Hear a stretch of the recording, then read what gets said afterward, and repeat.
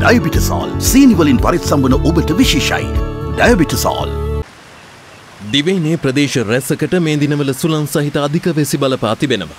පවතින යහපත් කාලගුණ තත්වය කළුතර හා රත්නපුර දිස්ත්‍රික්කවලට වැඩි වශයෙන් බලපෑම් එල්ල කර ඇති අතර ඒවායේ පවුල් එක්දහස් අටසිය විස්සකට අයත් පුද්ගලින් හදහස් තුන්සිය තිස් හත් දෙනෙකු පීඩාවට පත් ඇති බව ආපදා කළමනාකරණ මධ්‍යස්ථානය පවසනවා. ඇදහෙලෙන අධික වර්ෂාව නිසා කුඩාවේ පිටාර ගැලීමෙන් කළුතර දිස්ත්‍රික්කයේ බුලත් සිංහල පරගොඩ දඹල ඇතුළු ප්‍රදේශ රැසක ජනතාව ගංවතුර තත්වයෙන් පීඩා විඳිනවා. අප වාර්තාකරු සඳහන් කළේ බුලත් සිංහල මෝල්කාව මාර්ගයේද දඹල කරගොඩ ප්‍රදේශයෙන් ජලයෙන් යට වී තිබීම නිසා ගමනාගමනයට බාධා එල්ල වී ඇති බවයි. පවතින කාලගුණ තත්ත්වයේ ඉදිරියටත් බලපෑ හැකි බවයි කාලගුණ විද්‍යා දෙපාර්තමේන්තුව පවසන්නේ.